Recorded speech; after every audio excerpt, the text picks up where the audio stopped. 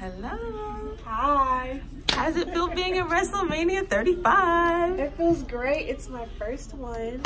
So, being my first one, seeing my beautiful mom perform America the Beautiful is just so amazing. What was your reaction when you found out that she was going to perform at WrestleMania? I was like, what? Like,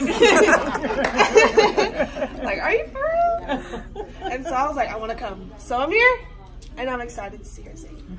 How does this compare to everything else she's done? It's so different. It's literally like an entire different world. Like seeing all the wrestlers and like how they interact with each other versus like the music industry and how they interact is so different, but it's cool.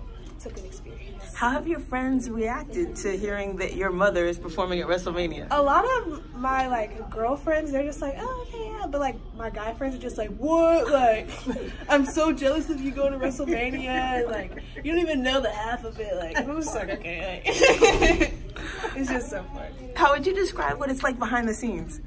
Um, I don't know. It's, It's really calm. It's really chill. Like our little corner is chill, and people outside are pretty chill too. Everybody's like in their zone, ready to fight, literally.